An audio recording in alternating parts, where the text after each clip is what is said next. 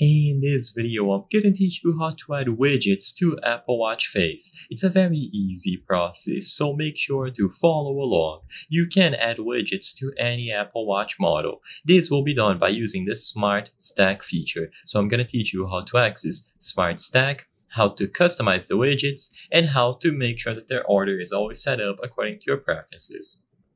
So, to access the Smart Stack, you can use the scroll at the right side of the Apple Watch. When you scroll up and down to access this command center, you will see all of them here. So this is an example of widgets and in here you will be able to customize them. So once you reach the area of widgets by scrolling down with the digital crown, tap and hold on the middle of the screen. After you tap and hold on the middle of the screen for a bit, you will now have access to the customization options. So you will have the option to remove specific widgets or icons. You can pin them to the top so that way they always appear on top of the list.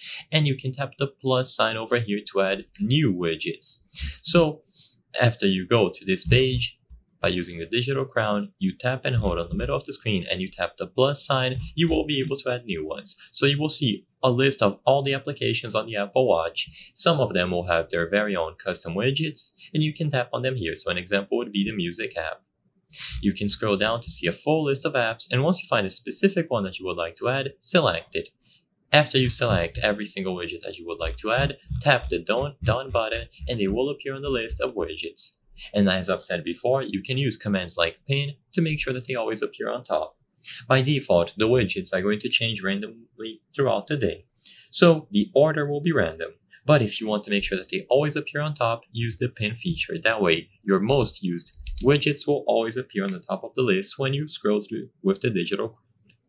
I hope I was able to help you on how to add widgets to Apple Watch Face. If this video helped you, please be sure to leave a like and subscribe for more very easy tips. Thank you for watching.